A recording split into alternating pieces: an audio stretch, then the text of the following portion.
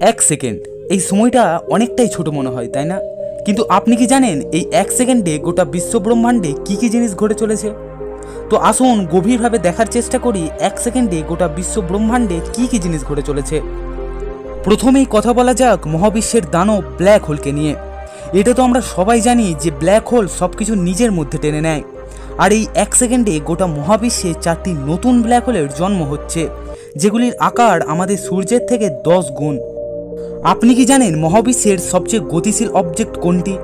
মহাবিশ্বের সবচেয়ে গতিশীল অবজেক্ট হলো আলো, এবং এটি এক সেকেন্ডে দু লক্ষ নিরানব্বই হাজার সাতশো বিরানব্বই কিলোমিটার দূরত্ব ট্রাভেল করে।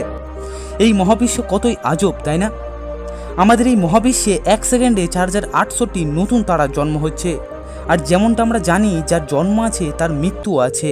তাই আমাদের ইউনিভার্সে প্রতি এক সেকেন্ডে এক হাজারটি তারা ধ্বংস হচ্ছে। একটু আমাদের সৌরজগৎ নিয়ে কথা বলা যাক।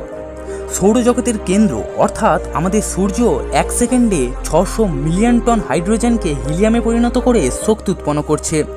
এবং এতে এতটাই শক্তি উৎপন্ন হচ্ছে যে গোটা পৃথিবীর মানুষের এই শক্তি শেষ করতে পাঁচ লক্ষ বছর সময় লাগবে। মানে একবার চিন্তা করুন, এক সেকেন্ডে সূর্যের মধ্যে কতটা শক্তি উৎপন্ন হয়? এবারে একটু পৃথিবীর দিকে নজর দেওয়া যাক। আমাদের পৃথিবীর চারদিকে ঘূর্ণায়মান আইএসএস এক সেকেন্ডে seven point six six kilometre দূরত্ব অতিক্রম করে।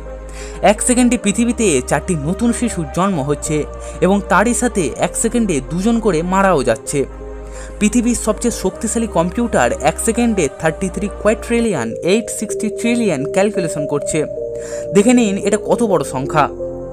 আর এই এক সেকেন্ডে চৌত্রিশ লাখ ইমেল আটষট্টি হাজার পাঁচশো বিয়াল্লিশ গুগল সার্চ, চুয়ান্ন হাজার নশো সাতাত্তরটি ফেসবুক পোস্ট, পাঁচ হাজার সাতশোটি টুইট এবং ইউটিউবে এক সেকেন্ডে ছ ঘণ্টার ভিডিও আপলোড হচ্ছে।